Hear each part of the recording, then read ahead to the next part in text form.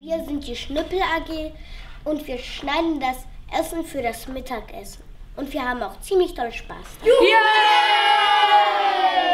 Vor muss man natürlich aber auch aus hygienischen Gründen das Gemüse abwaschen, eine Schürze tragen und auch ein Käppi tragen und ebenfalls Hände waschen.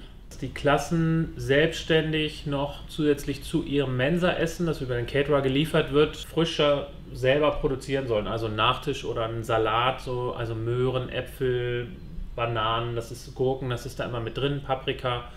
Und das sollen die Kinder dann einfach nutzen, um sich selber noch kleine Happen zu produzieren. Wir ähm, stimmen jetzt über das Essen ab. Wir können immer zwischen drei Gerichten auswählen. Und das stimmen wir die Klassensprecher dann der Klassen ab. Das ist einer, dann hat wahrscheinlich die Geflügel Brat Currywurst Topf mit Mais und Kartoffel-Wedges da gewonnen. Ne? Man muss sich natürlich vor dem Essen auch die Hände waschen. Zwischen den Fingern vor allem, bei den Fingernägeln. Damit der ganze Dreck auch weggeht. Dann nimmt man sich ein, zwei Tücher, damit man nichts verschwendet. Und schon ist man fertig.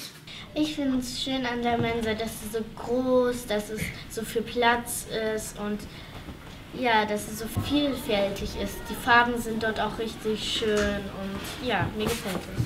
Ich finde toll, dass wir uns aussuchen können, in welcher Tischgruppe wir sitzen. Also in der Mensa ist eigentlich das komplette Kollegium. Also das geht ähm, von Lehrern, pädagogischen Mitarbeiter, Schulbegleiter, Schulsozialarbeiter, ähm, Förderschullehrer. Ich glaube, es gibt keinen in dem Team bei uns an der Schule, der nicht in der Mensa ist. Wir haben für uns ein System gewählt, dass Kinder bzw. acht Personen am Tisch gemeinsam sitzen, eine Schüsselausgabe, also die Elemente getrennt äh, auf den Tisch kommen, sodass jeder für sich seine Komponente auswählen kann, die er gerne mag am jeweiligen Tag. Dadurch essen auch immer alle gemeinsam, wie, wie es in der Familie auch üblich wäre. Also sie starten gemeinsam, sollen gemeinsam enden, den Tisch wieder neu eindecken, sauber machen. Okay, wer möchte denn den Tisch wischen? Das machen zwei Kinder. Hm. Ihr könnt das ruhig machen. Wer hat denn jetzt noch keinen Dienst? Ich. Und Ich mach Teller. Ich mach Gläser.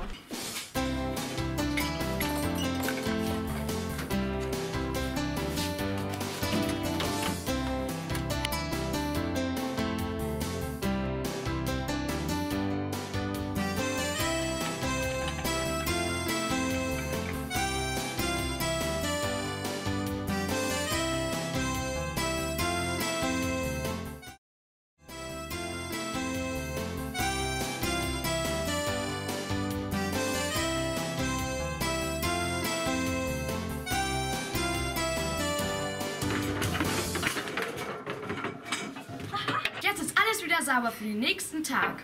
Also mir gefällt, also was man, also was man noch in der Mensa tun kann, finde ich, dass man, das ist sozusagen fast eine Pause. Man kann mit vielen Leuten auch beim Essen reden. Also natürlich nicht zu laut, aber Also in der Mensa tauscht man sich meistens auch nochmal aus, wenn der eine nicht weiß, was haben wir jetzt nächstes in der Schulstunde oder so etwas. Also die Mensa wird ähm, natürlich sehr viel für das Mittagessen auf alle, für alle Fälle jeden Tag genutzt.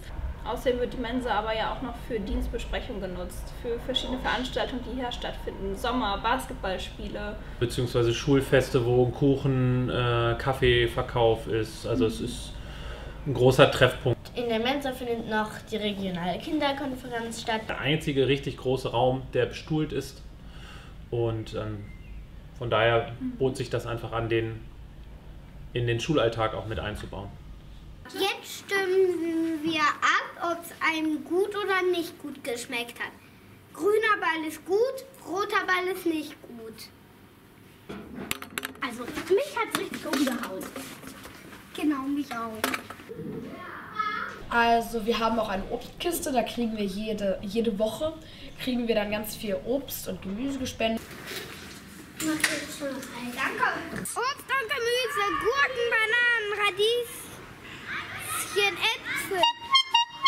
Ist ein Schulkiosk, wo wir mitarbeiten können. Und dann machen diese Kinder halt Sachen wie Brötchen zum Essen und da können sich halt die Kinder von ihrem Geld etwas kaufen. Der Ottis Eck verkauft immer jeden Dienstag in der ersten Pause in der Mensa.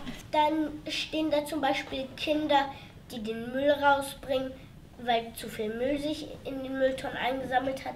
Es gibt eine, ba eine Saftbar, wo man Saft sich nehmen kann.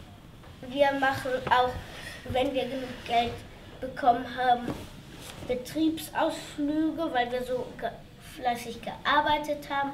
Im Zuge der Inklusion an der Schule äh, gibt es äh, mit Abschluss der vierten Klasse eine sogenannte lebenspraktische Prüfung. Und dazu kommt ja immer noch, äh, kommen ja immer noch Kinder, die in Mathe oder Deutsch Schwierigkeiten haben. Und diese Schüler haben wir eigentlich mehr oder weniger zusammengepackt äh, in einer festen Gruppe, die produzieren jetzt selbstständig ähm, an einem Tag ähm, Essen, äh, leckere, gesunde Snacks. Die gehen dafür einkaufen, die backen dafür, die kochen dafür, die haben einzelne Aufgaben, wer baut Ottis Eck auf, wer macht die Kasse an dem Tag, wer führt das Kassenbuch, die finanzieren sich komplett selber. Und sie sind jetzt so eingesetzt, dass die lernschwachen Schüler zum Beispiel Mathe dann das Kassenbuch führen. Obst und Gemüse von Ottis Eck.